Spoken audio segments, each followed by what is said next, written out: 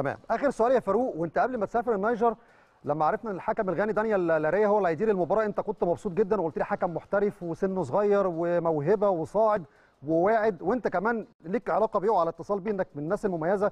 لما بتسافر بيبقى في تواصل دايما مع كل المراقبين أو حتى الحكام أو حتى الفرق المنافسة. دانيال لاريا بما إنك أنت كنت موجود في النيجر بعد المباراة هل سالته على ركلة الجزاء؟ هل المستوى بتاعه؟ هل قال لك لا النهارده ما كنتش في يومي؟ هل اتكلمت معاه بعد المباراة؟ عايز أعرف في الكواليس بما إنك أنت بتهتم جدا بالتفاصيل الصغيرة دي في الرحلات الإفريقية. يعني يا محمد تطرقت لنقطه في غاية الأهمية وبرضه من خلالك خليني أنا أوضحها إن أنا بالفعل يعني عقب نهاية اللقاء أنا يعني تدا يعني توجهت لدانيال لاريا واتكلمت معاه.